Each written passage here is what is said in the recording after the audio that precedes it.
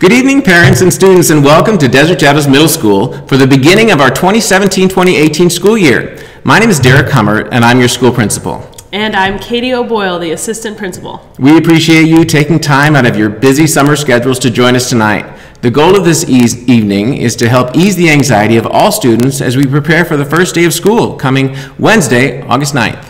We know it can be stressful returning to school, especially for our incoming seventh graders who never attended Desert Shadows Middle School before. They often worry about things such as getting lost from class to class or not having a friend in a particular period. The format of this evening tonight should help ease the anxiety associated with the first day of school. During your first two years here at Desert Shadows, you will hear a lot about how we consider ourselves a family. In so many ways, we take care of one another. Tonight is a part of that process, making sure that students and families feel safe and excited as we prepare for the start of school this week. This evening, your kids will have an opportunity to experience a mini version of the first day of school with their parents right by their side. Right now, if you check your schedule, you should be sitting in your first period class. If you're not in first period, please feel free to get up and move to your child's first period classroom. Following some brief information from Mr. Hummert and I in this video, you will hear a 10 minute presentation from your child's first period teacher. Your kids will have an opportunity to learn about the class, meet their teacher, and even look around to see if they have any friends in first period. Following this video and the 10 minute presentation in first period, the bell will ring at 520. You'll have five minutes to pass from your child's first period class to your second period class. Then at 5:25 when the bell will ring again, you'll spend 10 minutes with your second period teacher. The evening will continue with 10-minute classes and 5-minute passing periods until you've experienced a full mini version of your first day of school. There are two minor exceptions to the format that you will want to take note of. First, please know that we have not built in a lunch period uh, for tonight's format. That means seventh grade families will move straight from their period four to their period six class, bypassing period five. Similarly, our eighth grade families will move straight from period five to period seven, bypassing six period lunch. Also, please note in your schedule that English is scheduled for two periods a day, which means that you will remain in that English language arts class for two 10-minute sessions before moving on to that next class.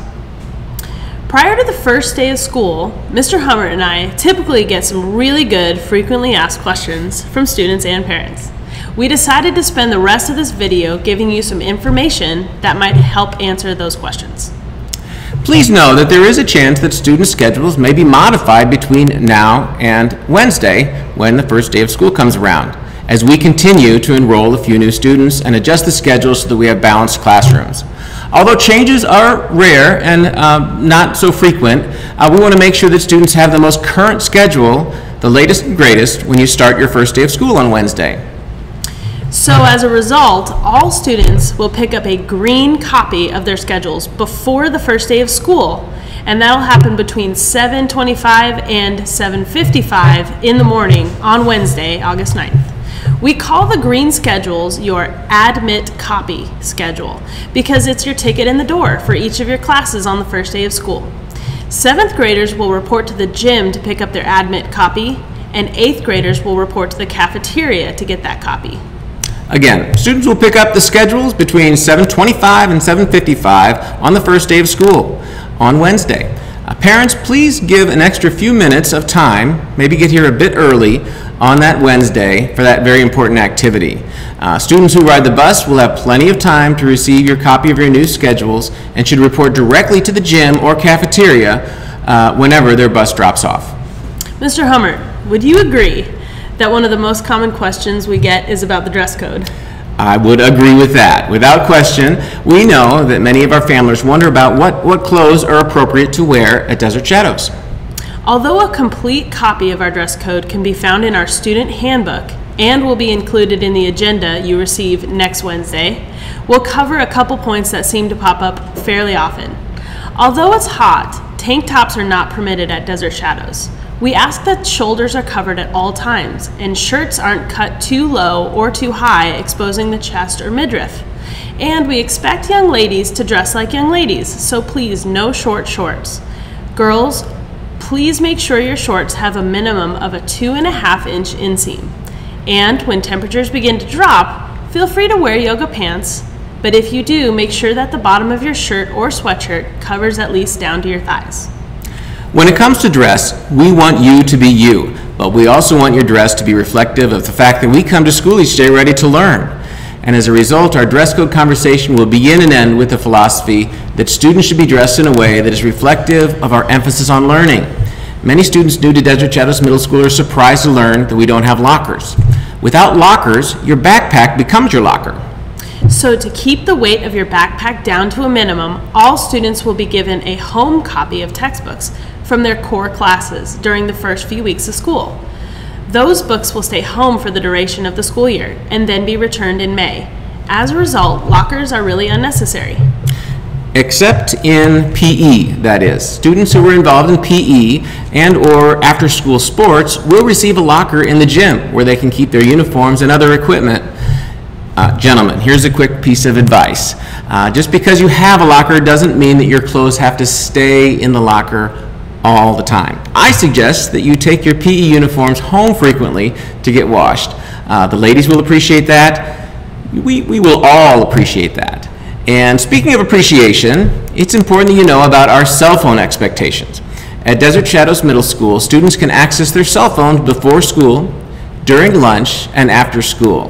However, cell phones should be turned off and put away during all other times of the school day, including passing periods.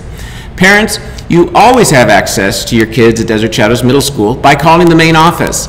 Uh, to help your children learn the very important life skill and trait of independence, we strongly encourage you not to connect with your kids by text or cell phone during and throughout the school day. In the end, waiting to connect with them in person at the end of the school day will benefit their long-term growth. Parents, we love that our students are so proud of their work and their friends and their school we know they're going to want to post it on social media, but please note that due to privacy issues, we do not allow photos or videos to be taken on campus. Part of having the cell phones put away helps students to fight the urge to take photos and videos. Parents, please talk to your child about the power of technology they use. One of the great resources available to Desert Shadows students and families is Infinite Campus, where all attendance and grade information is stored. Similar to elementary school, you can use Infinite Campus to check your current grades at any time.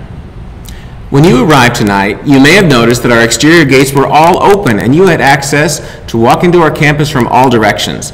The campus will be accessible in similar ways before and after school on a daily basis for school days.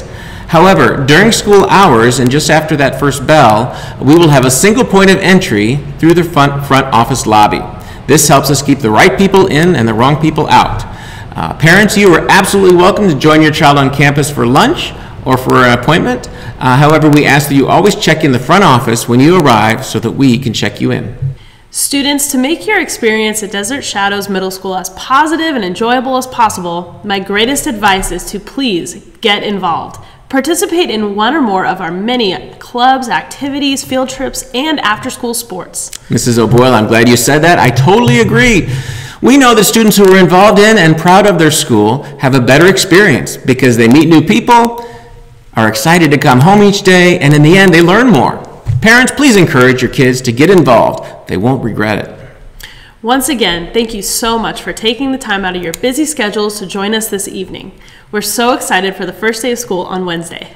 Please take a minute to drop by the gym before you leave tonight. Our wonderfully supportive PTO is available in the gym to collect forms and accept donations. In addition, PE uniforms are available for purchase also in the gym. On behalf of our entire staff at Desert Shadows Middle School, welcome and enjoy your evening.